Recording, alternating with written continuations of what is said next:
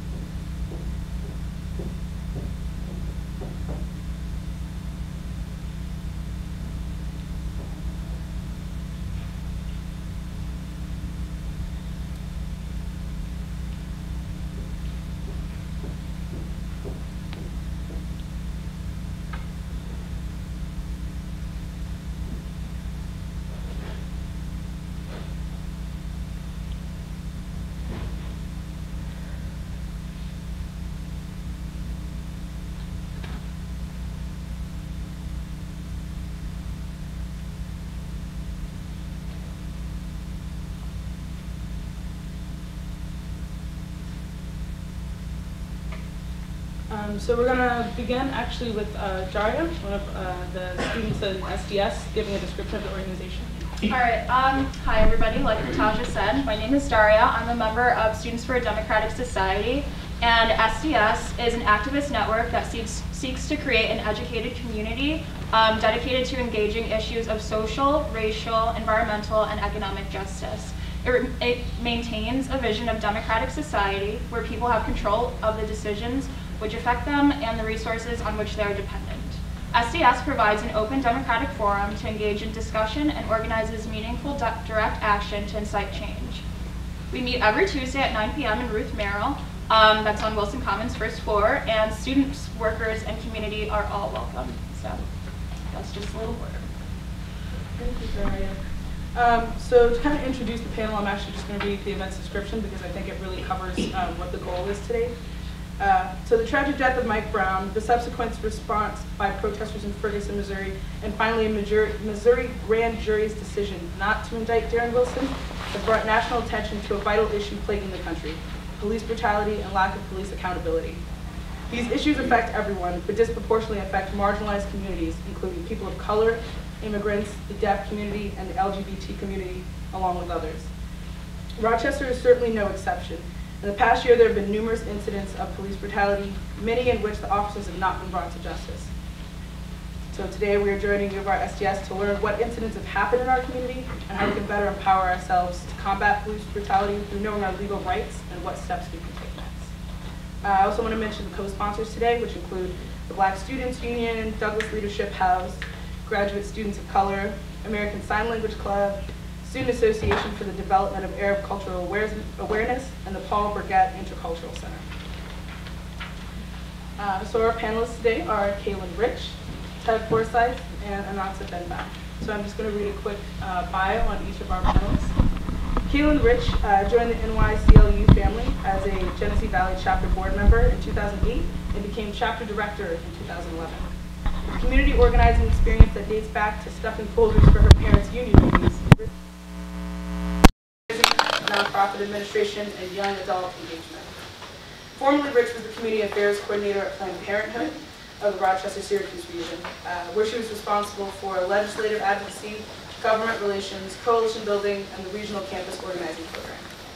Rich has also worked at Services to Aid Families, a rape crisis domestic violence program in Oswego, and as the director of the SUNY Oswego Women's Center. Rich is a contributing editor for the independent queer feminist blog Autostraddle, and the sexuality educator for Sex Discussed Here. Rich serves on the founding board of Connect and Breathe, a taboo-breaking, non-judgmental after-abortion hotline based out of upstate New York. She's a board member of Image Out, the Rochester Lesbian and Gay Film and Video Festival, and a former board member of Planned Parenthood Advocates of New York State. Rich holds a bachelor's degree in women's studies and English from SUNY Oswego and graduate certificate in nonprofit management from SUNY Brockport. She's currently completing an MALS in women and gender studies at SUNY Brockport, and in 2011 she was national Council. Uh, she was a 2011 National Council for Research on Women Young Professional Fellow, and they're building the next generation of women in the nonprofit sector fellowship program. So I would like to do a round of applause.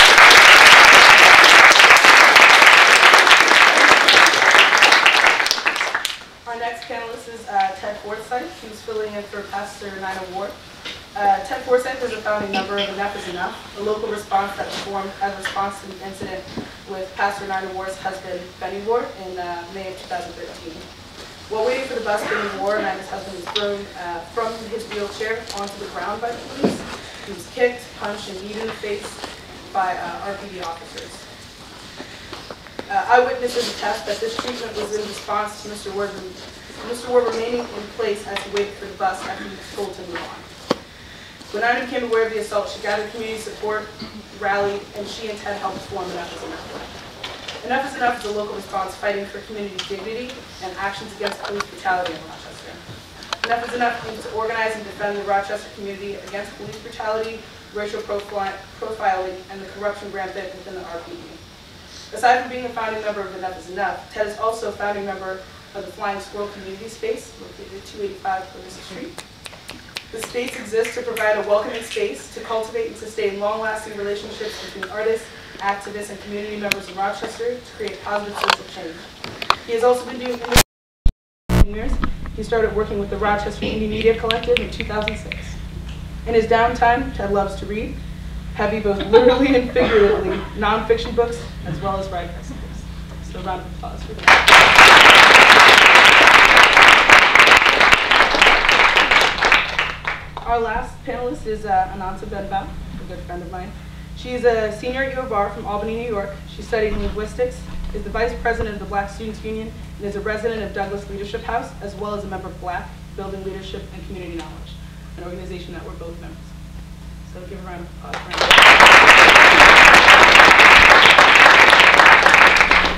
So I want to give the panelists um, a few minutes, about five minutes, seven minutes, to really explain um, what their organizations do, um, how you work with and around police brutality, and uh, just a little more about yourself. So KaeLynn, can you start?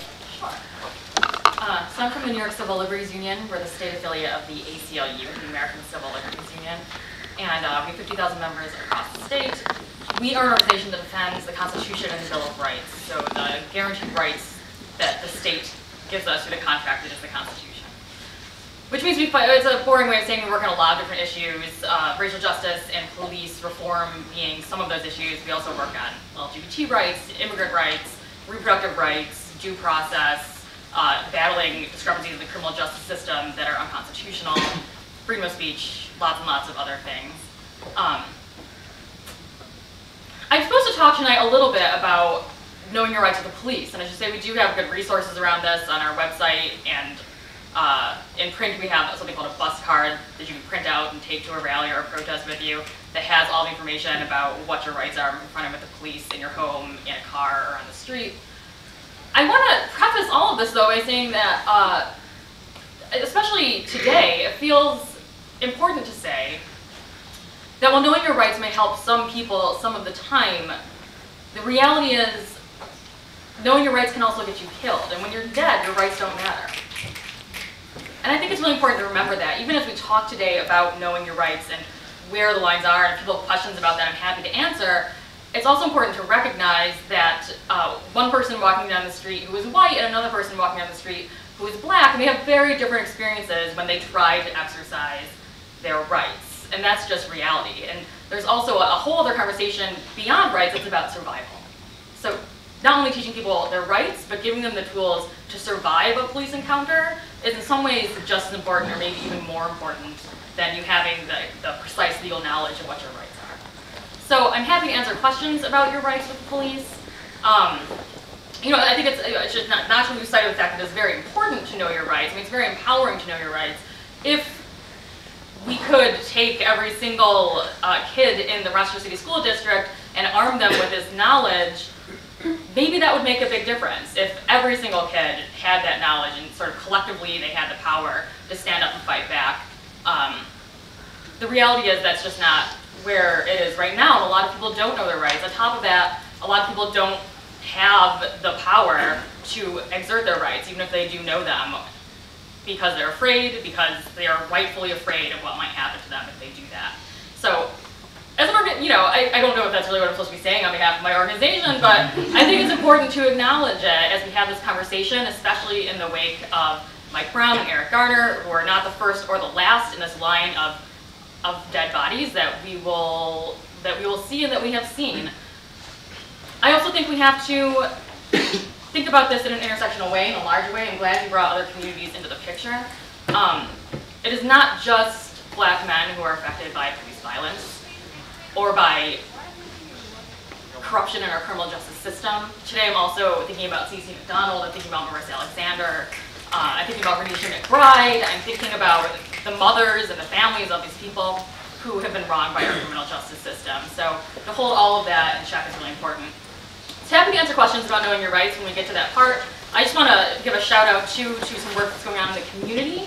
I'm also the co-chair of the Coalition for Police Reform, which is a relatively newly formed group in Rochester, uh, comprised of a lot of different organizations, and we would love more organizations to join us. And it's sort of brought together black clergy and black communities in Rochester with sort of the more progressive, mostly white, honestly, groups that are also interested in working on race. But we're working towards actual reform in Rochester. We have a couple things that we're interested in. Um, one is getting in on this body camera conversation, which we have to have a nuanced conversation about because just getting the body cameras isn't going to protect us. Although body cameras do have potential to uh, improve police community relations, whatever that means. They really do have potential, but there are things we have to consider when we talk about it. They're not going to stop the problem. So body cameras is one thing we're working on right now, and we're pretty sure we're going to have body cameras in Rochester in the first half of the next year. We've already met with all city council members, and we have the support. We're working now on getting policy in place that both protects citizens' rights as, as well as uh, sets up clear protocol for how, how law enforcement would use this information. We're also working on advocating for an independent civilian review board in Rochester, something we do not currently have. We're also working on stop and frisk, which we know is out of control in Rochester, and uh, working to both get better information about stop and frisk so we can hold the police department accountable, and also working just to end racial profiling, which is a huge, it's hard to say, how are we going to end racial profiling? It has to be a systematic, a cultural change, but that is one of the things we're working on, is addressing racial profiling through addressing stop and frisk. And the last one, which is currently being worked on in New York as well, is trying to get a search consent uh, decree in Rochester, which is this new idea. And the idea is that one of the major issues when it comes to low-level offenses that uh, mostly black and brown kids are brought in for, low-level weapons charges, low-level drug charges, is that they are patted down or frisked or searched without their consent. However, a lot of, like we talked about, like we're talking about right now, a lot of people don't know their rights. When a police officer says, open your bag, and you open your bag, you have to some degree consented to the search. So what we're trying to get is to get a policy in place where police would actually have to say, if they don't have probable cause to search you, you have the right not to consent to the search. So the onus is not on the individual to say, I don't consent, but on the police officer to say you have the right not to consent, which sort of flips the power in that situation. So those are the four main things we're working on.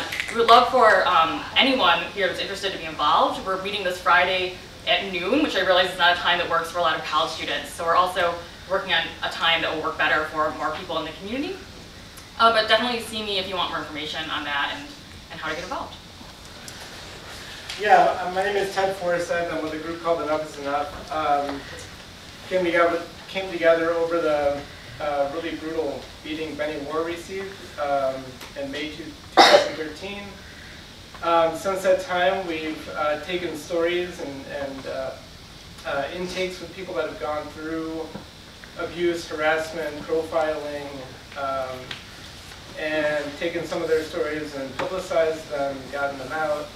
Um, shortly after Benny Warr was attacked in May, at the end of the summer, and, and, again, I know there was a lot more happening between May and August, but um, Dwayne Ivory saw a march that Enough is Enough was doing and came up to uh, the pastor um, and asked, you know, if he could share his story because he got beat up and his home surveillance video caught it on tape and and so we uh, we sat down with Dwayne and we did an intake and got his story and um, you know it, it, it you know showed a situation that was pretty pretty calm uh, and, and then escalated almost instantaneously into violent brutality. And um, you know, he was another person that uh, you know is in solidarity with Enough is Enough. Has been to the meetings, has been to the parades, the, mar- the marches, the speak outs. Somebody he's, he was on one of our panels that we had last May. Um, and so we do all kinds of things. We uh, we petitioned, we've marched, we've um, you know uh, done court support. We go to the court with the people that have charges against them and sit with them, stand with them, work through that system with them. We had these enough is enough T-shirts made up with Benny Warr's face on the front or in the back. Back. Nico. Depends which. And, uh, and ju- the judge did not like that. Uh, he, um, the, the, the case kept being prolonged, and then he got to a point where basically, you know, he passed the buck. He, he handed it over to another judge. But what we were hearing from Ben's lawyer is that he was putting pressure on the lawyer to say, don't allow those people into my courtroom wearing that shirt. You know, and I mean, that, that to me shows the power of people. Like, if we come out and we come together and we support each other, we can make an impact on the system. And he got so frazzled by the fact that he was getting a lot of negative publicity that he wanted this case gone from his, his docket. Um, so yeah, I mean, we do we do we do stuff like that, um, lots of different things, and we really try to take cues from people that have been at the center of these incidents. Um, but Pastor was supposed to be here tonight. She is ill and could not be here. So uh, one of the things that she was asked to do was give sort of a, a brief history of um, sort of uh, policing community relations. So I wanted to just touch on a few points. Um, uh, last year I looked into a story from 1962. Um, it was uh, this gentleman named Rufus Fairwell. And he was a gas station attendant on Columbia, I think it was Avenue Street, forgetting which. Anyways, uh, 19th Ward, he's over there, he's doing his job. It's like 11 o'clock, and he's closed up his shop, and he leaves the shop, and this police cruiser rolls into the parking lot. And the D&C and the Times Union were the kind of two papers that are vying for the story. And the D&C, reading their coverage, was very pro-police. The Times Union was much less pro-police and much more interested in, it felt like it knew the truth. Um, but he came out of the gas station with the keys and cops rolled in and they're like, what the hell are you doing here? And he's like, oh, I'm closing up. And he showed them the key to the gas station. One of the police officers opened the door and knocked him to the ground. Both of the police officers got out of the car and started beating him mercilessly. He got up, he pushed them away, and started staggering across Columbia Avenue to Barney's Pub, which was across the street. And Barney knew uh, Rufus because he was a patron. He came in and out of there occasionally. He he worked at the gas station. And as he's crossing the street, an off-duty detective sees this black man running from, or moving away from, two officers. And so the off-duty detective stops his car, jumps out, and chases after Mr. Fairwell. And so eventually, Mr. Fairwell, the detective, and the two officers converge on Barney's front door. And there are two different stories. One is that the police officer went back to punch him or hit him or something, and his baton broke the glass. The other story is that he was uh, pushed through the front glass window. Um, after that, uh, Mr. Fairwell, you know, came into the bar screaming for help. Um, Barney, the, the, the, the guy behind the counter, was saying, what the hell is going on? I know this guy, he works at the gas station, why are you doing this? And then Mr. Farrell clutched the bar and wouldn't leave. He clutched it like death grip, like he wouldn't leave. And so at that point, the detective was trying to de-escalate, according to the papers, that situation. And um, he kept telling him, you know, go with the officers, they'll take you downtown, or no, they'll, they'll, you know, go to the officers, they'll take you to the hospital, they'll get you fixed, fixed up, and then, um, you know, you're just going to deal with this. We're just going to walk through this process. And eventually, you know, Mr. Farrell was like, no, I'm not going, I don't trust them. And so eventually, Mr. Fairwell reluctantly went with these officers.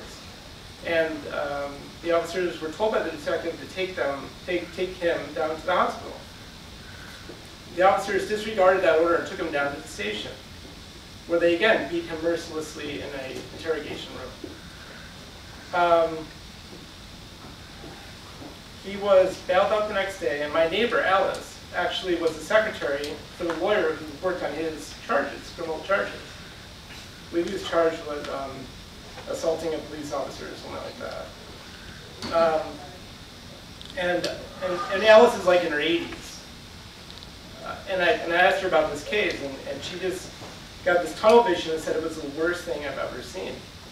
Um, last year, I also had the opportunity to interview a judge, a federal judge in Buffalo, who is 94 years old. He was the prosecuting attorney against these officers that beat up Mr. Fairwell in, uh, in, in Rochester when, when this case happened. And he said he didn't take any notes, he doesn't have any recollection, or, or, or he didn't have any like, you know, notes or files or data on the case. But he did say that he explicitly remembered the case because it was such an atrocious abuse of power. Those two officers were eventually acquitted of all charges. Um, in 1964, they were, they were charged uh, with civil rights violations. They were eventually acquitted. And um, Mr. Fairwell has passed since. But the family has kept that story very close because um, of the threat of retaliation. When this happened in 1962, uh, those same officers, from what his son told me, came to their house and directly threatened that family to say, if you push this, we will kill your whole family. And, and, and that to me is, um, is chilling. Um, and it, it, to me, speaks to the fact that there are, there is a veneer of community police relations, but there are stories like this embedded in our community that you don't hear about, and you don't know about, and you don't see, and they're not, not reported on. And they're so atrocious that this idea of police-community relations is almost a sham. It doesn't make a lot of sense. Um, just uh, briefly, in 1963, the Police Advisory Board came into being. and it was sparked partly by Rufus Fairwell's case. The PAB um, was comprised of all civilians. Uh, it had advisory and investigative powers. And um, it could come up with uh, recommendations and results from its investigation and pass it on to the chief. If the chief and the PAB agreed on what the recommendations were, great if the chief and the PAB disagreed, the PAB under law was, was um, allowed to release all evidence, testimony, and statements to the press and allow the court of public opinion to determine what really happened. Um, and, and, and basically, uh, the police didn't like this, so they took out full-page ads in both the D&C and the Times Union denouncing the PAB the police union filed three uh, federal uh, injunctions against it, stopping its tracks from doing its work, claiming that it was unconstitutional. And after um, nine years of injunctions, the courts finally ruled that it was constitutional. And um, but, but, but by that point, the damage had been done. Uh, in 1969, a Republican administration took over. They uh, cut all the funding from the PAB and in um, 1970 it was dissolved. From 1970 till about 1980-ish, maybe mid-80s, um, there were groups working together to try to fight police brutality and abuse. Um, FIGHT is one that comes to mind instantly. I know they had working groups and they were struggling and they were fighting not only for, for you know, against police brutality and, and, and murder, but, but for you know jobs, for quality housing, for quality education, um, basic human rights. Um, so uh, then in somewhere around the, the mid 80s, uh, another group called uh, United Church or United, I think it's United Church Ministries uh, came together, and that was sort of headed by Reverend Raymond Graves and Reverend uh, Lewis Stewart, I believe. My history is I'm still, I'm still learning about all this stuff. Um, and, and they were pushing for a sort of revamp of the PAB. They wanted to see that put back into power. Um, but uh, Wade Norwood, who was the city councilor at the time, uh, submitted an alternative. What we have now is the civilian review board. And that alternative basically, um, you know, uh, was passed into law a week later without public comment. Um, The, the, the uh, United Church Ministries actually denounced it because they said they weren't given enough time. And um, what we have now is a system where the police, police, police, and the chief decides what happens and nobody knows anything for the fact. Um, so that's all to say that there are communities in our, in Rochester that are targeted, and those communities um, don't have justice, and they, you know, they, um, yeah, they, they, it just, it's, it's an ongoing problem, this idea of police-community relations, to me, is, is unreal. It's, it's a sham. It, it doesn't mean a whole lot. It's a public relations fiasco. Um, and then, uh, just, uh, sorry, no, I'm going really wrong here. You're Uh, giving the whole history, or you're giving a very, very brief history of the long history of police brutality, police. yeah, yeah. Which is important. And, and the, the only other thing I would say is I just want to read some of the names of, um, uh, people murdered in Rochester by the police. Um, I think it's important, I know that this has been read at some of the demonstrations over the. Oh. And it you also read their ages? Yeah, I do have their ages here. So this is on Rochester Wikipedia, or uh, this is about the RPD on Wikipedia, so everybody can go and look at this stuff. Uh, unid- Unidentified Negro motorist, uh, age not available. uh, uh, Shooting, he was shot on July 25th, 1967. He died. Uh, No, actually, it could have been a her. There's no gender listed here. Um, Ronald Frazier, 19, 1975, shot by James Souls, who was a police officer. He died, outcome, of, outcome uh, to the officer unknown. Uh, Denise Hawkins, 18, age 18, uh, shot November 11, 1975 by Officer Michael Leach, died. Michael Leach was then promoted to captain. Um. Alicia McCullough, 21, November 13th, 1983, shot by Thomas L. Whitmore, death. She died. Uh, outcome of the officer unknown. Kenneth Jackson, 25, November 16, 1984, uh, shot by Seferino Gonzalez. He died. Outcome for the officer unknown.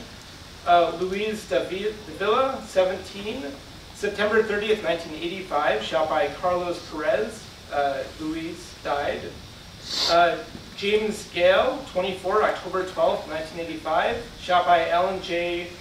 Lucidi. Uh, he survived. Um, the officer pled guilty to departmental use of firearms and was suspended for 31 days. Kelvin Green, 30, 1988, shot by Gary, Officer Gary E. Smith. He died. Gary E. Smith was suspended without pay. Vandy Davis, 21, 2001, shot by David Gephardt. He died. David Gephardt was promoted to a lieutenant. Craig Hurd, 14, June 10, 2002, shot by Serge Savichev, Serge Savichev and Hector Padam uh, twice in the head. Uh, Padam goes to Greece, New York Police, and Savichev goes to Fairport Police. William Carter, 46, August, shot August 15, 2002. Uh, There's no listing for the officer who shot him. He died. Uh, The grand jury deemed it justified. Lashadika Mason, 13, uh, July 10, 2005, shot by Mark Simmons. Uh, Survived gallbladder and several uh, feet of her, oh, several feet of her intestines had to be removed. Uh, Mark Simmons was promoted to sergeant and special assistant to Chief James Sheppard. Patricia Thompson, 54, March 2nd, 2006, shot by Officer Jeff LaFave. She died. Uh, the grand jury deemed uh, it justified. No, no charges against the officer. Uh, Jose Luis uh, Casado, 19, uh, shot in 2008 by Officer Ryan Hickey, shot in the leg. He was sentenced to life in prison for firing at police. Ryan Hickey was praised by Chief David Moore for his conduct. Miguel Cruz, 21, March 1st, 2010, uh, shot by Officer Daniel Santiago. He's, uh, Miguel survived. Uh, the grand jury deemed, deemed um, the grand jury uh, said that the shooting was justified. Hayden Blackman, 43, October 13, 2011. He was shot by Officer Randy Book. He died. Uh, the grand jury deemed that the shooting was justified, and actually Officer Book was then uh, given a commendation by the, the by, by the chief. Um, almost done here, and these are not everyone, clearly. Um, last, last person, I, uh, this is up to 2012, Israel Izzy Andino. He was 20. Um, shooting date was June 21st, to, June 21st, 2012. He was shot by Sergeant Aaron Coletti, Sergeant Mike Nichols, Antonio Gonzalez, Brian Calick, Greg Carnes, Onassis Sokol, and Eliud Rodriguez. He died, and the grand jury deemed the shooting justified. Um, the last case there that they list here is Yandino. He had mental health issues. He was incidentally killed on the same day that his father was shot and killed by police um, about uh, 20 years earlier. Um, and uh, it was an execution style shooting is what people in the neighborhood called it. He had a, uh, he was experiencing mental health issues, he was not functioning well, he had some sort of a BB gun or rifle with him. Police say that he raised it, and these officers all shot him simultaneously.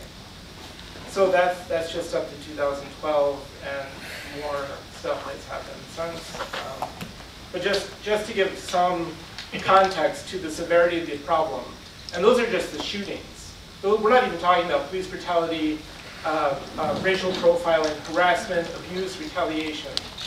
Those are just the shootings that are big enough to put on Wikipedia. So I'm, I'm going to end there, but I'd be happy to talk more about all of that stuff. And then also first, I, yeah, I just want to emphasize, thank you, Ted, for giving that history, because that history is really hard to find. Not surprisingly, there is no, there's no national record of police brutality incidents or even just murders of, uh, police officers in this country, so there's certainly no, um, track being kept of it here in Rochester, so it takes this kind of, you know, talking to the community, individual case by case, searching, hunting work to even get that list, which I'm sure is very complete and only goes up to 2012. Hello, everyone. Um, I am uh, a part of Black Building Leadership and Community Knowledge. Uh, we're fairly new, well, really new. Um, we formed um, this past mid-August after the Mike Brown tragedy. Um, I guess so. Our our mission statement, our main focus is to empower the Black community and uh, emphasize the value of Black life, and also build unity between people of, of African diaspora. Um, we focus on Black as a culture, not a race. So we understand that we have many different um, different cultures, different you know, in Latin America, in Africa, here in America, in the Caribbean. Um, it's all different, and we, and, and we see that and honor that. And so through that, we hope to um, combat disparities that were created by institutionalized racism. Um, some of the things that uh, we've done since our inception, I guess you want to call it, um, early fall, we had uh, a Black Lives Matter, Matter rally where we were part of that um, on Genesee Street.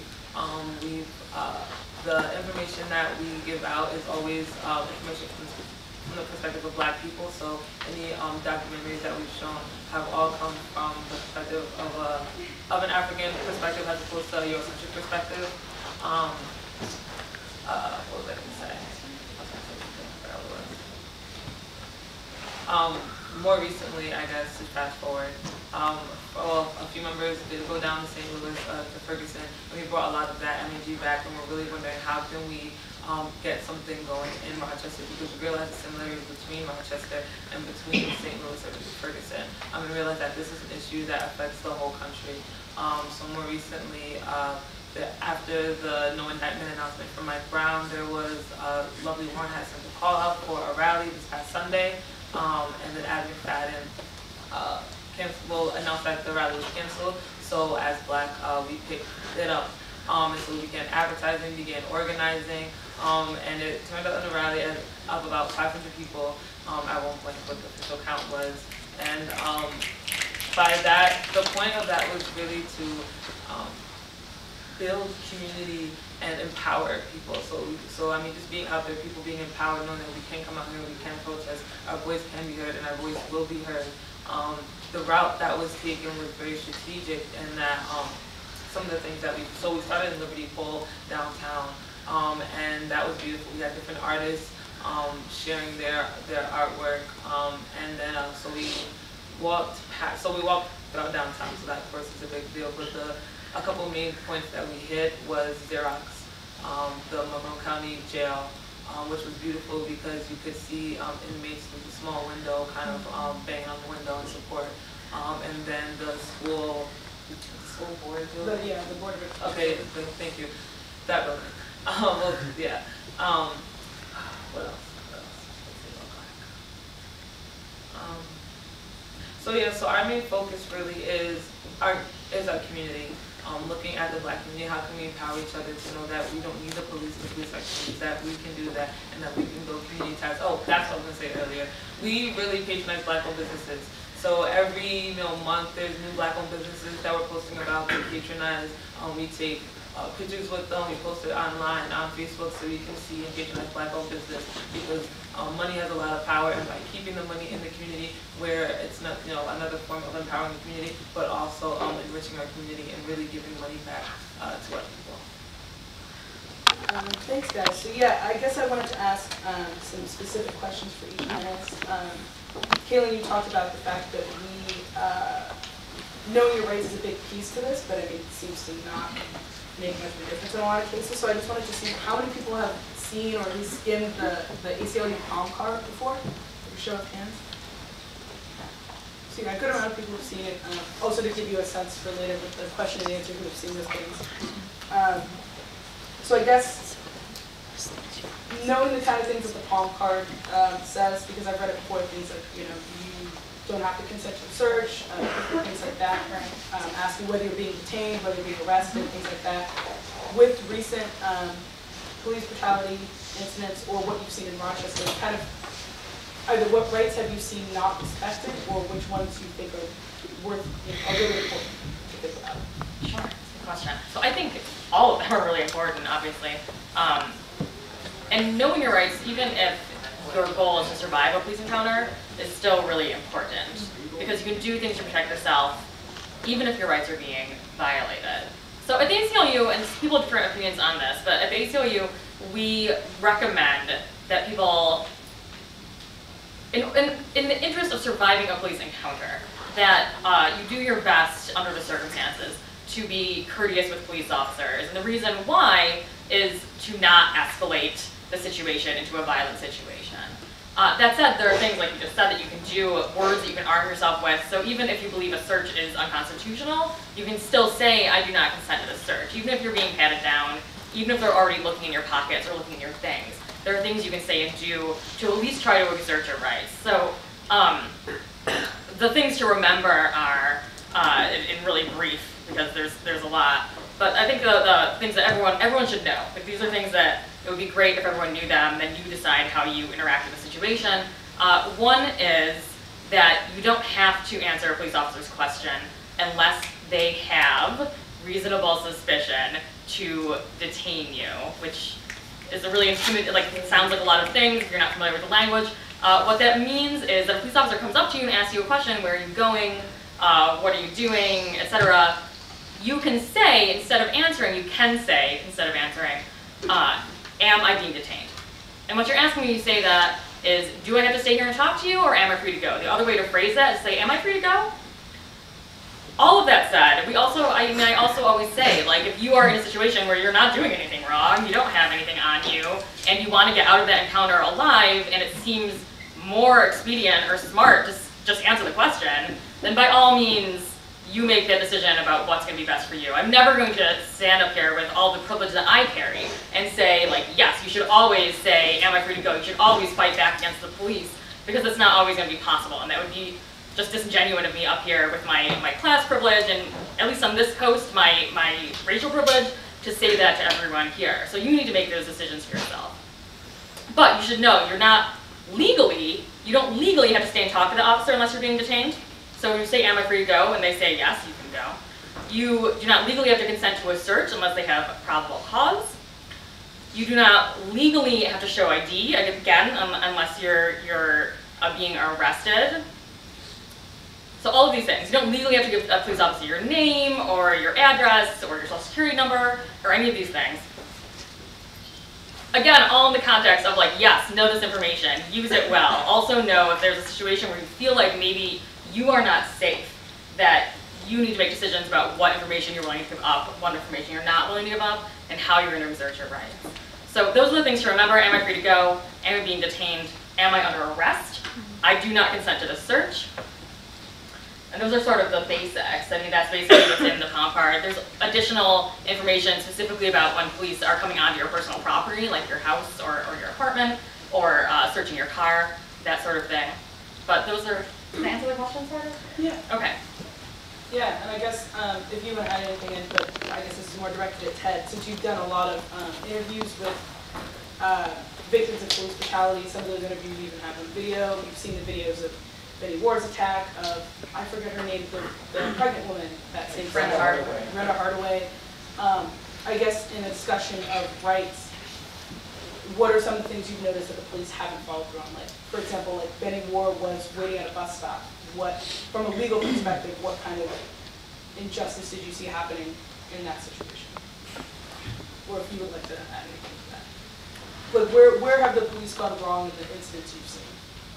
you know, just basic violation of our constitutional rights to be able to walk down a public sidewalk without being bothered or harassed or waiting for a bus and, you know, being, you know, having the right to stand there and wait for the bus or sit there and wait for the bus and, and then having, uh, you know, being pepper sprayed and thrown out and, and, you know, injured severely because you refused to comply because, because they told you to. Um, I, uh, I witnessed, I did some cop watching uh, at the Flying Squirrel the other night. This is maybe like two weeks ago. This video will go up on the internet, don't worry. Um, and it, it was uh, this guy, uh, this officer Eisler, and he was stopping, he was waiting on a side street for this car to leave, and it was um, a car with, I think, four uh, black teenagers in it. And they were driving away from this housing complex where they were staying with a friend or, you know, hanging out or whatever. And I saw that car go by out of the corner of my eye, and then I heard this engine rev really hard and just spin over there with the lights going and everything. I was like, holy really? So I, I, what I do now is I carry a camera on me at all times. So whether that's a flip cam, which is like a little tiny, looks like a rectangle, it's got a record button, you just click it, it shoots in high definition. Or if you have like a, my, I was there with my friend Andy Dillon, and he had a, um, he had a cell phone with a good camera lens on it, and he was uh, able to record too. Um, I saw the stop, and I started walking over my camera shooting, and uh, the guy's got the window rolled down, and the officer's like, get out of the car. The guy's like, what am I being pulled over for? Get out of the car. What, I just want to know what I'm being pulled over for. Get out of the fucking car. And the guy then opens the guy's door, steps into the door, and you hear the handcuffs snap on his wrists. And he pulls him out of the car. And I'm just shocked. And to his credit, he was de-escalating. He was saying, I, I, I'm going to remain silent. I want to speak to a lawyer. I'm not going to answer you. I'm not, I want to know why you pulled me over. He was very clear about his rights, which I thought was impressive. This cop was totally out of order. And I feel like once he knew that people were filming him, he got out of there as quick as possible. And then two other cop cars came by as he was still there. Two other cop cars came. The guy was arrested and, and, and driven away by the first cop. Two other cops, was a captain and another patrol officer, and they were sweet as pie. Oh, my name is such and such. I'm a captain. Here's my card. Here's my name. Oh yeah, yeah. This is what happened. You know, it was it was such a switch once the cameras came out, and that's from two white men filming these cops. I have no idea what that interaction would be like if I had been black or brown, you know, trans, queer. I don't know. I don't know what that would have been like. But in, in my, my my body, that was like the, the reaction. So I don't know. Did that answer that? Yeah, I mean, that's definitely an example. I mean, I've I've lived in Rochester not that long, and I've already seen some of things. So for me, that's a, that's a very simple question, but I think for some people that seen it, like, it's a matter of like, those things that you know you can do, those rights that you know you have. I mean, I think that's a really good example of how you should stay calm with the police. Um, just try not to let the situation escalate for the safety of yourself, but sometimes it really um, doesn't change anything. And we, we all have a legal right to uh, observe the police, and tell a police officer that you are, um, you have a right to film them, you're not obstructing justice or stopping anything, you stand to the side. Um, and that's what you should do if you observe police brutality anywhere. Um, pull out your phone, stand a safe distance away, and record what's going on, because that may be the only way that anybody knows what's going on. Um, so Nata, I guess, if you want to talk more, I know you talked about the rally on Sunday, um, but if you want to say anything about, I guess, the significance to black communities, uh, especially of police brutality, and maybe even why we were at Liberty Pole. Um, So, actually, to mention, so I did not know the route beforehand. So I Oh, like right, it- you were, Yeah, so I don't, I wasn't at the meeting for that. Um, you keep people in the yeah, very well. Um, but, so specifically being downtown in a very central location, um, where you have, where you have community members, where you have people in the suburbs who are driving in and out through downtown. Um, the rally was important, one for the black community because, um, so I'm a college student, I'm not from Rochester, I don't claim to be. Um, but the fact that people from Rochester saw that the community needs to be brought together somehow, and that a way to do that could be a Black Lives Matter rally, where we're out here, we have black, we have young, so one thing about black is we're young. We have young black people out here getting other young black people excited, and then um, also getting older black people excited to come out here and really make a statement about em- em- em- emphasizing the, the value of black life. Um, was important? Um, so, and I want to add um, another part of the rally. There was a second, there was a component in the beginning um, where uh, students from Teen Empowerment were speaking. Um, and for me, I mean, these students aren't that much younger than me, but they are younger than me, and so uh, for me, it was really moving.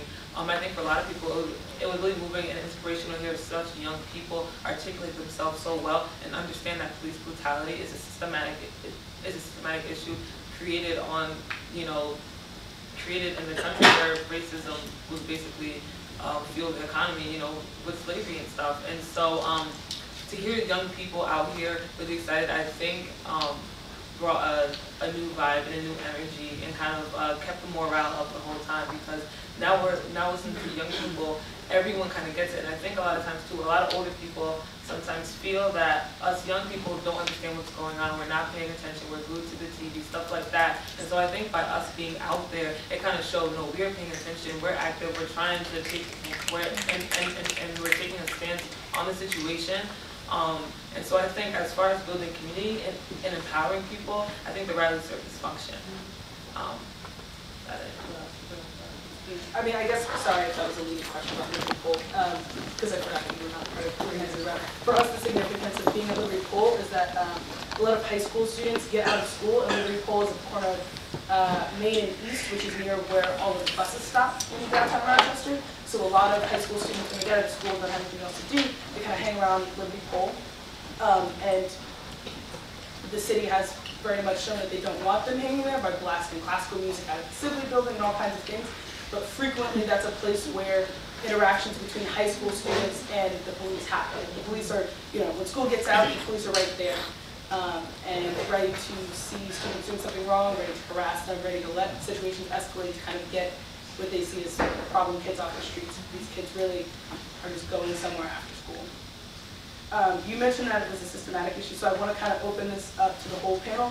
What does it mean to you that um, the idea that police brutality is a systemic issue, and if you can kind of identify, you know, what you mean by that, what systems are in place? And this is for the whole panel. So I think by systematic, um, I think one thing that's important to highlight is the implicit biases that people have when you're born into society where white supremacy and white privilege exists. And um, you're born into families that um, perpetuate certain ideologies, and these are things that you just don't know or not and are not aware of.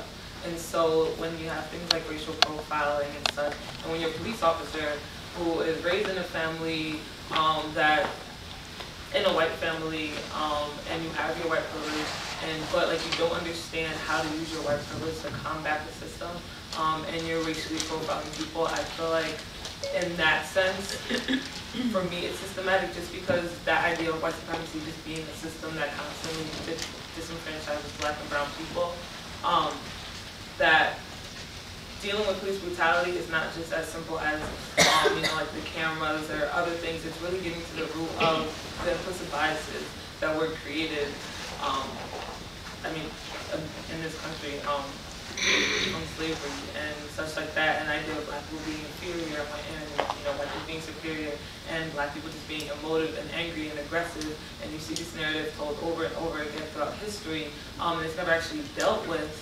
Um, and so I think just just that, just like implicit biases, kind of people not understanding that they are racist and that they are perpetuating the system by the way they act, the questions they ask, and assumptions that they have about uh, black people. Yeah, I mean, I think what, I agree, what we're talking about is structural inequity.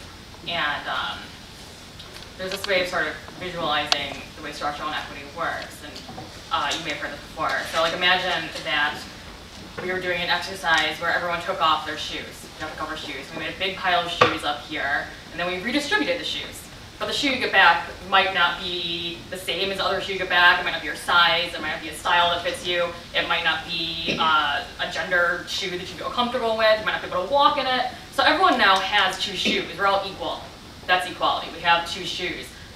But we don't have the shoes. Some of us have shoes that fit us, and some of us don't have shoes that fit us. And that's equity. That's not having equity. And the structural inequity we're talking about, we could like make the list and it would be huge, right? And I think that as long as we are, we're going to keep having this conversation, we're to keep fighting this fight, as we have for a long time, and as we will keep fighting, but as long as we have a criminal justice system that's based only on punitive reform, only on punishing people for things that we perceive them to have done wrong, instead of addressing people as whole people, as long as we have a culture that upholds sexism and transphobia and homophobia and classism and racism, and you could go on and on with this list of, of isms that our culture upholds, as long as we have all of that, we will have structural inequity and we'll have a criminal justice system that is run by people in power to punish people with less power. And I think that's that's the structural issue. I mean, none of these things I talked about before, consent decree, body cameras, are going to fix that. But um, overall, our movement has to be keeping that in our framework, even as we chip away. Did you want to add anything to that? I mean, those are both great answers. I agree completely with both. Um, I, I, yeah, I mean, I don't, I don't, I don't know. I mean, it's, it's just, uh, I, I guess I feel like the institutions of this country are founded on like genocide of native people, uh, white supremacy, capitalism, patriarchy, um, you know, imperialism, um, and these are all connected. Um, and, and these are all creating a barrier to, you know, true liberation, to people having the means to, to live their lives, to do what they need to do. And until those institutions crumble and new ones are built that are built on, uh, you said equity, um, you know, I, I don't, I don't see reform as being the end all.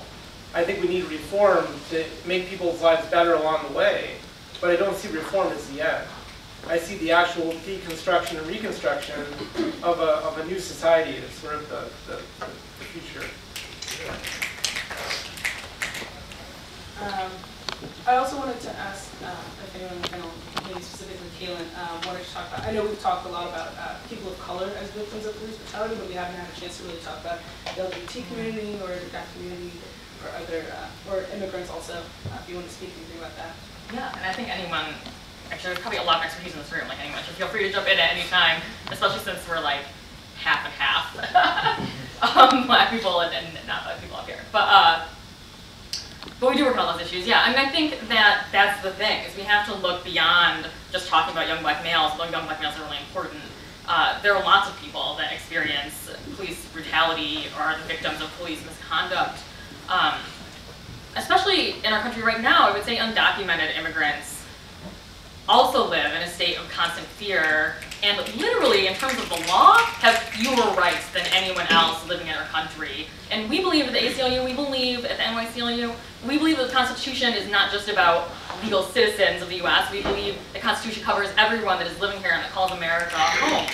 And so undocumented immigrants should have constitutional rights too, but right now, in terms of what kind of rights they have, they literally, literally have none. And the violence is not just the raids on uh, places where, where immigrants live or people who are perceived to be immigrants. It's not just being harassed by the police. It's deportation. It's being separated from your family.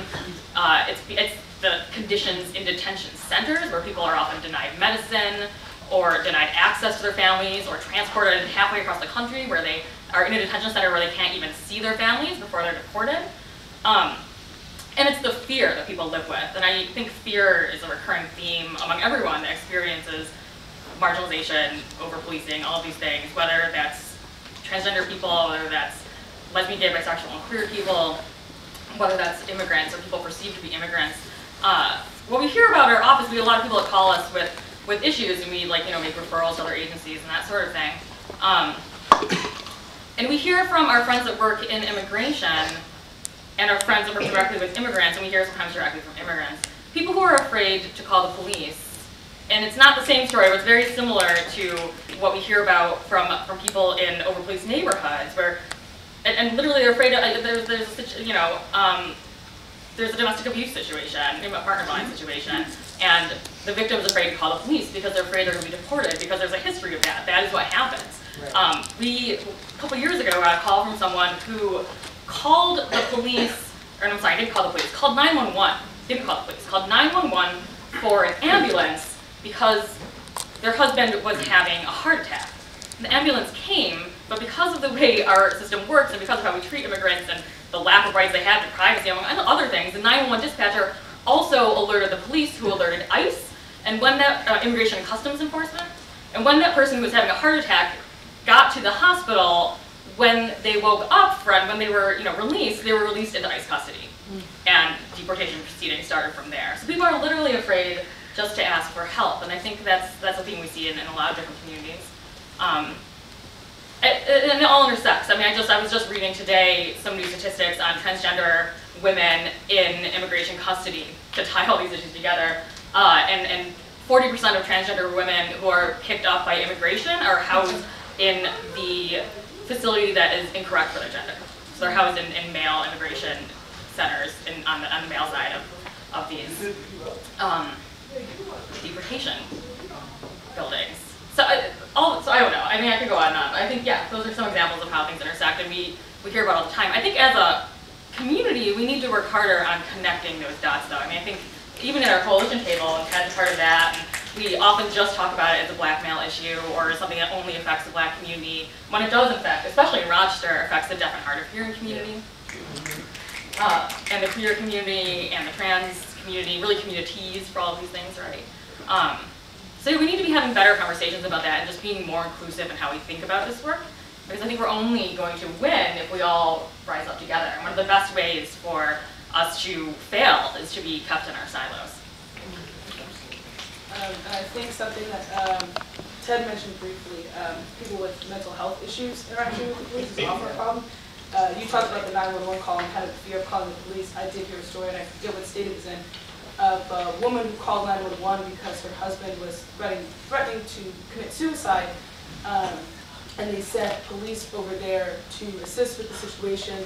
The police got into an argument with the man, um, and they actually shot him and they killed him. Um, and this this kind of fear of what you know calling the police for and Brenda Hardaway's case was uh, a call for uh, on behalf of domestic violence. Someone called the police and that's why they arrived. And even if you call the police to help you, there's kind of, there's definitely a sense in many communities that they may not help and they may actually hurt you much more. Um, so you guys have actually talked about a lot, so I wanted to hand it over to the audience for a question and answer. Uh, So I, I just wanted to kind of touch on what Keelan was saying too and expand upon it as well, because I think you said it just at, at the end of what you were saying. Um, anytime I, I hear somebody say something along the lines of, you know, refoc, or like expand our focus Mm. beyond, you know, young black males, especially when it comes to police brutality, um, that instills a certain level of fear in me about why are we doing that? Because if we turn it from, you know, Black Lives Matter to All Lives Matter, then what have we really accomplished kind of thing? But I think that the idea of intersectionality is super important because what it does is actually draws in, it, it expands our field of view to the people who are natural allies, to the people who are not allies, to the people who are, who are uh, accomplices in this, to the people who, who uh, their very life depends upon it. So when you think about like, for instance, uh, the undocumented community, the black community, the trans community, about people who are affected by police violence, people who are affected by um, uh, mass incarceration or incarceration in general, in a really, really either disproportionate or nasty, nasty way. That the reason that we want to draw those conclusions together and bring those intersections together is not so that we take the focus away from young black males, but so that we say, these groups of people need to band together and need to fight together. And the only way that you can have enough people to overthrow the system that's in place right now is to have all these groups come together and recognize we aren't allies. We are all in this, we're all getting beat by the police, we're all getting mass incarcerated. Um, you know, we're all having seriously nasty conditions when we're in prison. Um, and then we can start the conversation of we're all going to help all of ourselves by getting rid, rid of this. We're natural allies. all trans people in the multiple trans communities. So um, absolutely centering around people who are directly impacted. I'm going to be quiet because it's what I just said is I should shut up, but I totally agree. Uh, Other questions? Yeah, you had mentioned that the guy was um, de-escalating the situation, um, exercising his rights, uh, saying I'm be silent and this and that. Trying to, but for people of color, in my experience, I have a lot of experience um, dealing with the police. Um, when you exercise your right, you are escalating, just going along. Um, so now all of a sudden, I'm in the back of the police car for for my brake light up. Whichever time, I'm in the back of the police car until he wants to let me out. Um, rarely is exercising your right um, de-escalate because it's like you're challenging their authority. Um, Yes. and with people of color, man, it's, it's no matter how macho I want to be, in the back of my mind, I could be Mike Brown. Yeah. You know, um, so now after the way I do, I want to be um, Mr. Thug Tough Stuff, or do I need to try to get home? Mm-hmm. You know, telling him I'm not going to say anything Right. or anything. Bare minimum, I'm gonna be held up for three hours. Don't let me get caught out there without my ID. I don't care what the law says if I don't have it. I don't have my ID. I'm not going home for a few hours.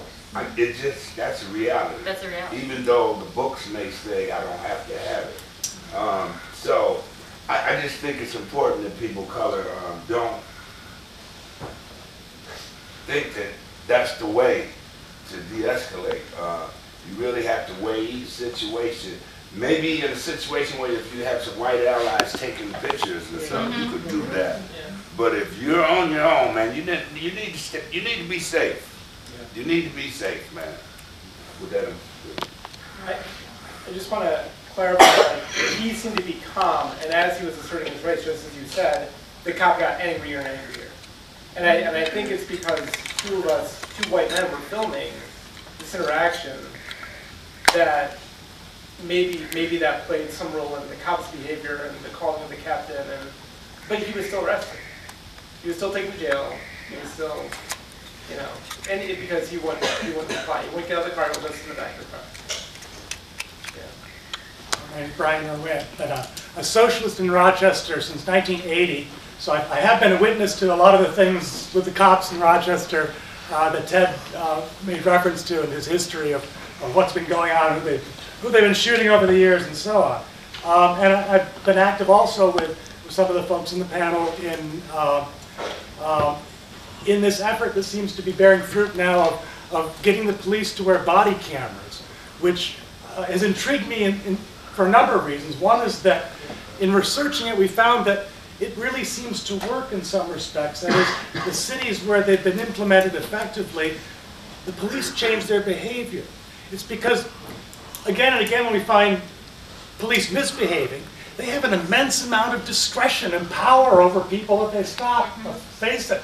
And, and some of them abuse it shamelessly, systematically, all the time. And, so uh, part of what we want to do in Enough is Enough is kind of keep track of cops who do things like that uh, so that, you know, there, there's a spotlight shining on them. Uh, but apparently when, when in cities where cops had to wear the cameras, incidences of, of complaints against the cops went way down, like by 80%. The, the, the cops behave differently when they're not allowed to simply mess with people because they can. And so, and so that's one reason for, for supporting it. But I, I want to add, add a, an aspect that, as a socialist, uh, we have to understand, understand is that there's something structurally, there's a structural problem with the police in society anyway. That is, we live in a vastly unequal society where a tiny minority own and run things, and the vast majority work for them. And so the police play a role of serving and protecting property and those who own it. And, and, and they, they make use of all of the divisions and oppressions and so on uh, throughout society in this unequal society of ours. And, and their social role is, their job is to keep people in their place. Keep the people at the bottom at the bottom and don't let them think they can go elsewhere. And, and psychologically, some of them take on that role, but, but structurally, that is what the police have to do, which, as, as Ted mentioned, it's why reform isn't going to be sufficient. Eventually, we have to have a society where uh, you know, there isn't this division in classes of a tiny minority who own everything and a vast majority who don't. The majority have to run things in their own interest. That's where we can really work on the oppressions, the, the, the many, the manifold divisions that have been fostered all these times just to keep the majority weak and the minority in power.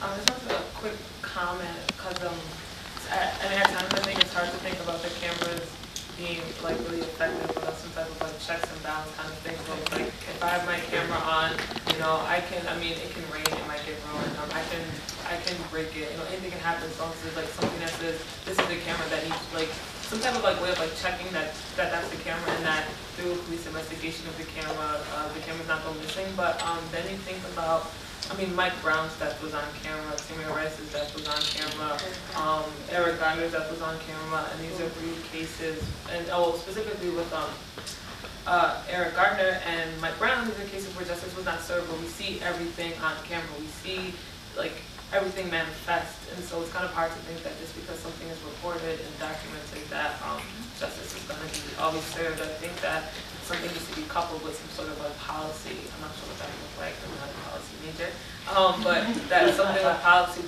would have to be coupled with the idea of We're actually working on it right now, so we want to make sure that whatever policy comes out supports the community as well as the police, and all of the documents so far have been around, uh, in terms of policy recommendations for body cameras. Less than fifteen percent of the couple hundred municipalities that have them even have any policy. And so a lot of what happens in those cases is when the cameras are on or off is at the discretion of the officer, and I believe in Ferguson, I believe the officer was wearing a camera but it wasn't on. And so there was- Took, said the malfunction. Right, yeah, yeah, yeah, Yeah, exactly. Yeah, so I mean, but I mean, even if we have the exact right policy, at the end of the day, we have to be careful about, I'm hundred percent, it's unusual for the ACLU to support something that could be used as a mass surveillance tool, so of course we're having a lot of questions. Um, Where's the data going, how long is it stored, who has access to it, how we protect privacy, those things we're all really concerned about. And then in terms of them just being effective, the other piece is, is as you say, like, how do we ensure these are gonna be used properly? And I think at the end of the day, even if we pass, even if we not pass, even if we, uh, see Rochester ends up with cameras and they have good policy or okay policy, there's still gonna be abuses of power. And so then the question is, like, how do we, how do we, where, where are the checks and balances there? Like, an officer turns off a camera, should there be an assumption of guilt, or should that, there be an assumption that, and it has no reason, no documented reason for turning it off? Um, you know, and then they'll say it was broken, whatever, there's lots of things that can happen. I think what you were saying though, I mean, the reason we do support them is what little evidence there is out there on them, which is not a lot, uh, is that they do seem to just make people act better. That's really what it is. It's not even that, it's a little bit that we have more evidence. It's mostly that if someone is wearing a camera and everyone knows they're wearing a camera and they know they're wearing a camera, with the exception of people that are going to act, that are going to be corrupt no matter what. Um, for the average person who just gets a little macho when they feel intimidated, they're going to be more polite when the camera's on, and that's really what reduces the complaints. It's not that the evidence is better necessarily, so much as that people are just better behaved when they know they're being filmed. So, but yeah, you're right. The policy has to be right. We can't just, and I think we have to be careful though, because the rhetoric right now, the national rhetoric, is to look at body cameras as like the solution. I mean, that's sort of what's happening right now, right? We're saying, okay, well, let's just give everyone body cameras. I mean, the NYPD is rolling out the, today. They posted on, on their social media uh, that they're going to be pushing out the rollout of body cameras to all their officers by this Friday, uh, at the same day, coincidentally, as as the announcement about Eric Garner. So we have to be careful that we don't let people just sort of like talk about that as the only thing, and that we focus, we keep focused on the big picture while we support these things. I mean, we can support body cameras right now, but not let that feel like the end of the conversation. That's kind what you're saying. Um, There were a series of questions that people put their hands back up. You know, you had a question? Corey had a question? Liz had questions? And then Mary. So, I don't know your name, I'm sorry. Um, I'm Nick. Oh, Um, sorry, I'm, I'm sorry. Go ahead. Um, so there's somebody behind me, they can go, since uh, probably actually still some of my. Um, yeah, I was just wanting to highlight what you said about, um, you know, like the need to ally, um, and work as accomplices. Um, because not only is it like, not only are we weaker in numbers if we're not standing together, but you know, the divisions, you know, they're, they actually serve a purpose. They actually keep us from challenging the power that actually, you know, as Brian was highlighting, you know, keeps, you know, the the inequalities and inequities in the system here.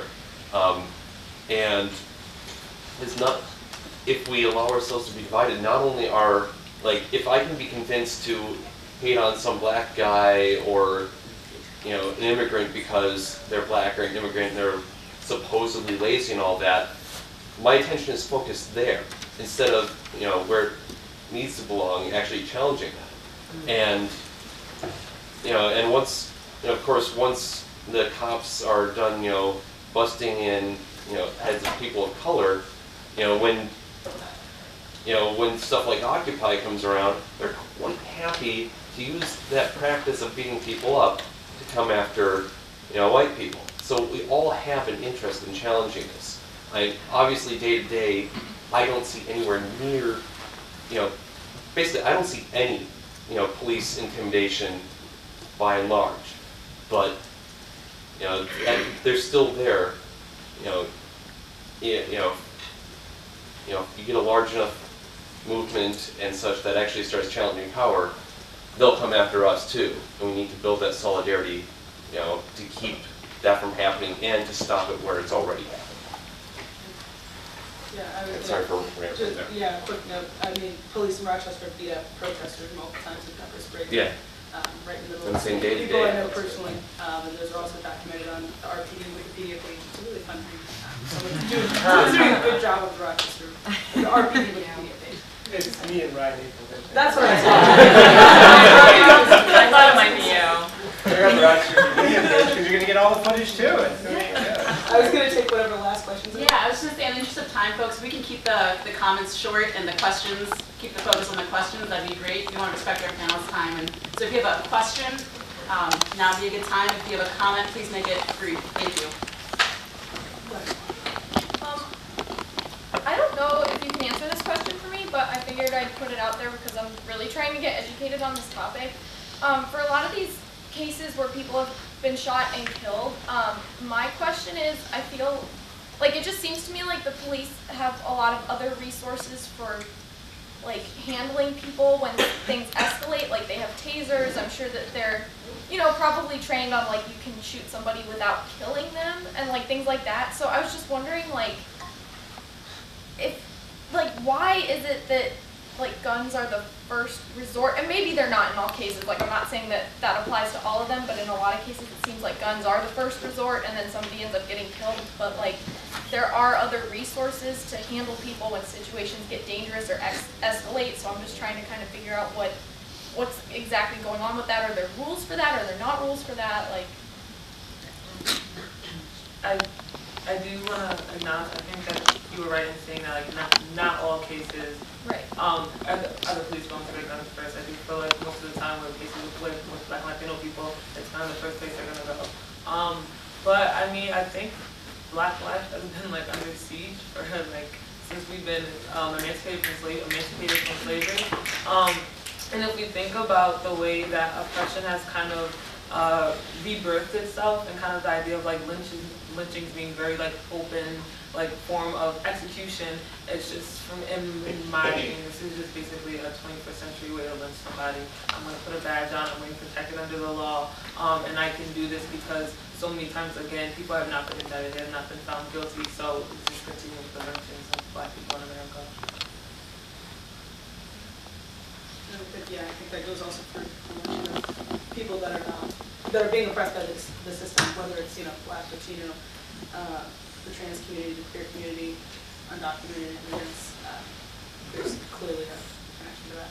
I think there's a trend right now that our police force is becoming heavily militarized. Yeah. I mean, Literally, literally they have weapons that are for war. When you are trying to figure out why a police department has an MRAP, a, a military vehicle, you know, who's the enemy? They're here to serve and protect the people who live here. Who's the enemy that they're fighting? Who are we supposed to be turning those weapons on? And unfortunately, in many of the cases, it's people who have done nothing, you know. Um, assault rifles are like, everybody has assault rifles now. I mean, really, even, uh, you can go online and see where this like Homeland Security money is going. It is follow the money, it's all about money. Uh, there's all these dollars coming in to get basically military grade weapons. And even in like Steuben County, they got like a military vehicle for some reason. I don't know why, and I don't know what they're gonna use it for. Uh, often what we're seeing, there's a trend nationally, we just came out with a report about it actually, um, of them using these weapons going into like serve warrants, for example, drug-related warrants, and then someone ends up getting shot and killed. There was a family whose baby uh, died because they threw a, a um, flash grenade into their, flashbang, yeah, into their home, and the shrapnel hit hit their child, trying to serve a warrant for someone who wasn't even there on a drug-related offense. I mean, this is what is happening. So you have to ask the question. Uh, so I don't know. I don't have a good answer for that. I mean, I think, yes, they are trained in other de-escalation techniques. And you have situations like, do you remember the, um, what was his name? The kid that went in and started shooting up in the Batman movie? Oh, yeah. Him? He made it out alive. He made it out alive. He made it out alive. I'm not saying, we can't compare, I mean, like apples and oranges, whatever, but in some cases, police do use discretion in terms of handling someone even if they are perceived to be violent and dangerous. In other cases, they just look at someone and perceive them to be violent and dangerous even if they're unarmed, and that's, that's the, I also want to just point out briefly that uh, for the last five years, I've asked through a Freedom of Information request for the demographics of the RPD. Names, ranks, ages, races, genders, um, and if they live in the city of Rochester or not. And I'm actually going to probably have to maybe get a lawyer because the demographics for 2014 have not been released to me yet. Um, the last two years have been released to me within the two-week span that they're supposed to give you the information.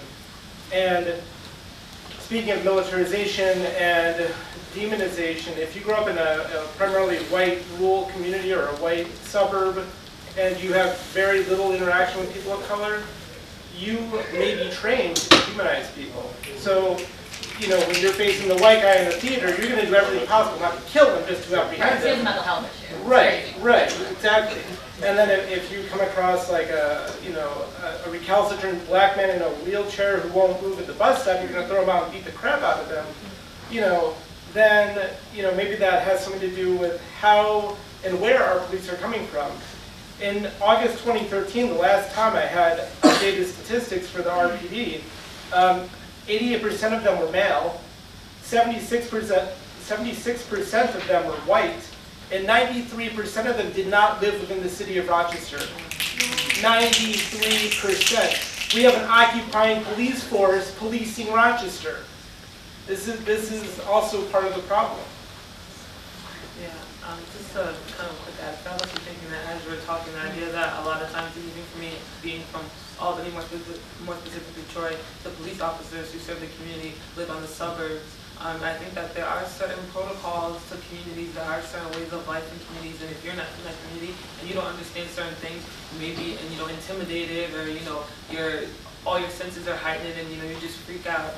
Um, I'm not saying that that's an excuse, but one of the just I think possible reasons is just like kind of not not understanding like each other's cultures, and I do think that that comes down to the idea of power in the sense that um so I see language and I love it, but the idea of like languages having prestige and people having to code switch to the more prestigious language, and I feel like in America as black as um, black and brown people, as marginalized people, we're always trying to, well, we have to adapt, and it's unfortunate sometimes conform to the system, which is, you know, white, male, straight, um, you know, and um, in a sense that um, we don't have power in that situation.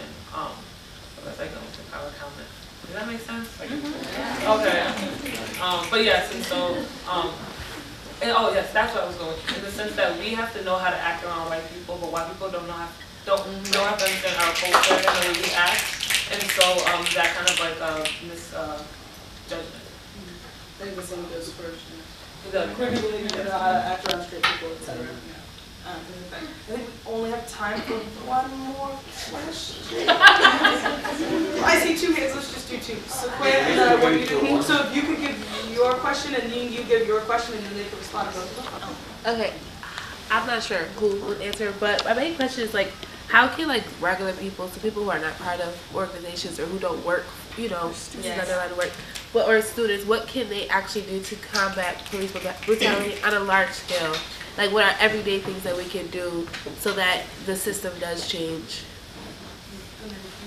Um, is there any way to see in the future in educational policy, like stereotypes are learned? Like kids understand what's their, like if they stereotype someone when they're growing, and like if their parents are continuing to stereotype minorities and stereotype gender and stereotype LGBT communities, they're gonna continue to do so. So is there any way that an educational policy can be made in the United States in order for it to at least diminish in a certain way or a certain capacity. So, so there was a question about what students can do to affect police brutality and how education plays a role in um, ending stereotypes. Like a top of that, so if one wants to go, like go for it. So to answer your question, Sequoia, speaking from the perspective of, of a student um, in the city of Rochester, um, the idea, so um, just like want to use the example of this past Sunday, um, there were students um, who were at uh, the rally in the march, but the idea of kind of like leaving campus to go venture out. And so one thing that Makia, who, who's also part of Black and the student, did was she or um, she checked the bus lines to see which buses were running. She and like and and we posted that and advertised for that. And then she also called public safety to see if they can get a larger bus as opposed to the regular half bus. So I think um, as far as getting involved, one thing students can do is be more open to leaving campus. Um, I think that that's like the biggest thing to understand that we live in a community and there's there's like thousands of people on this campus who just don't leave. It's just like a huge population in Rochester that does not leave, you know, Wilson Ave.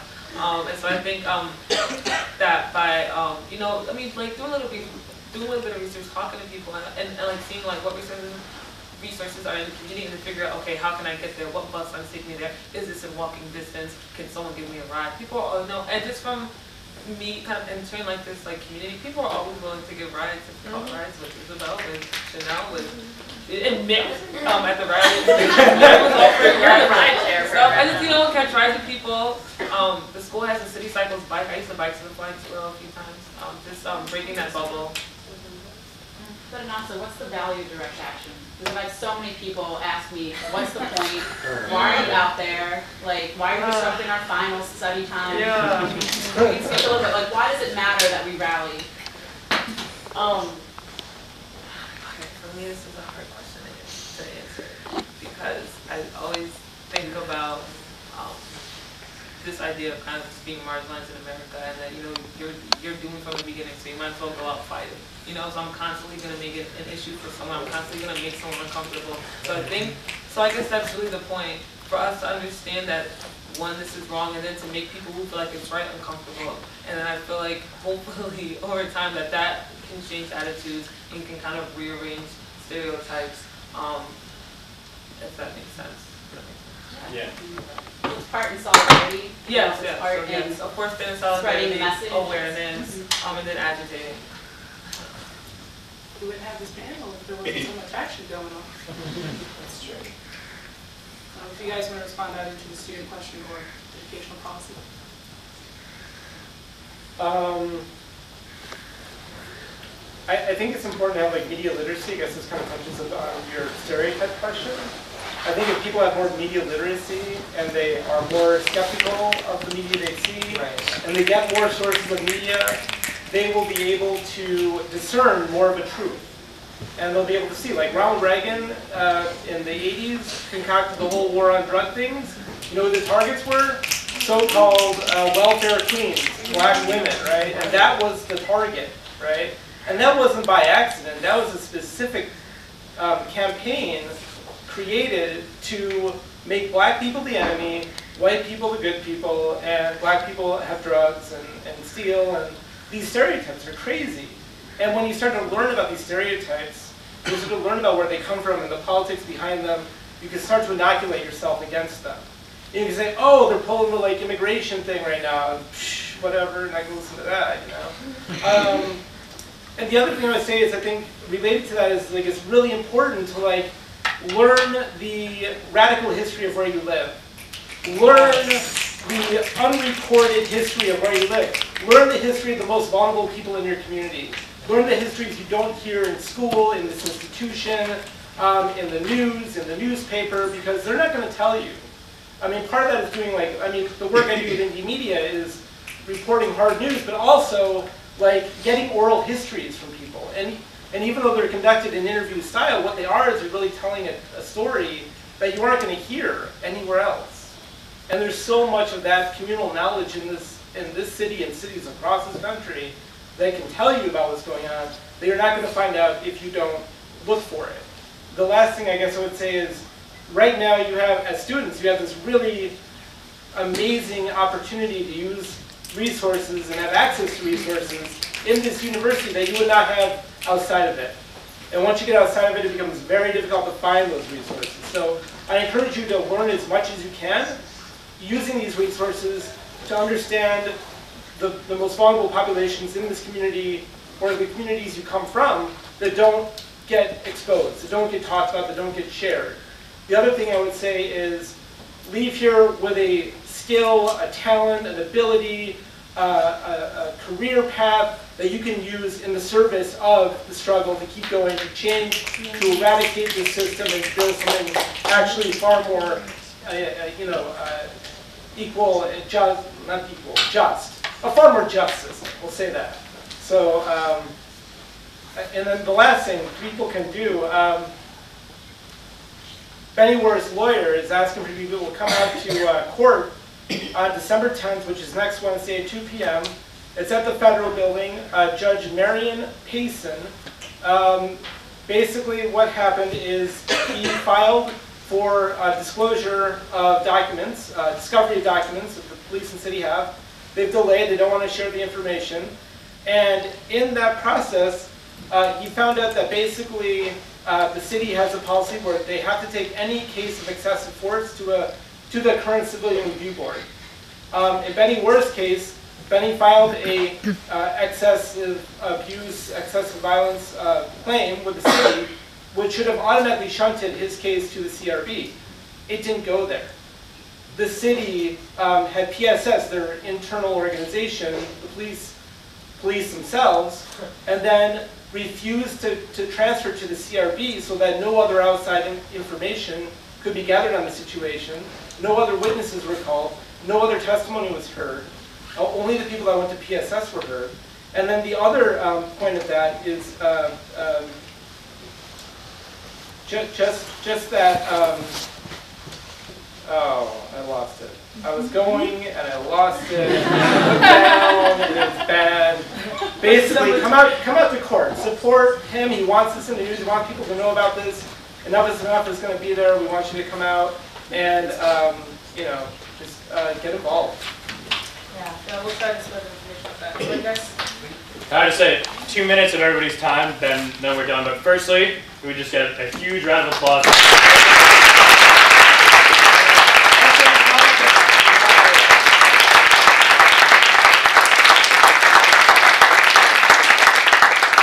So we had a great discussion tonight. I learned a lot. I hope everybody else did. But we're talking about direct action. Those are the kinds of things that we need to, you know, move forward on these kinds of issues. So you've got all these these different kinds of groups up here. You have Black, uh, Enough is Enough, and of course the NYCLU. But obviously SDS is, you know, we're here right on campus. We're students. So Tuesday, Tuesdays, 9 p.m. at Ruth Merrill. If you guys are interested in these kinds of actions, organizing these kinds of things, show up there. That's what we talk about. But also just in the next two days, uh, on Friday, directly speaking to this, these kinds of issues, there's going to be like hashtag Ferguson Friday action. Um, I don't think it's officially set yet what is happening, but Tonight it'll be out. tonight it will be out. So be on the lookout for that.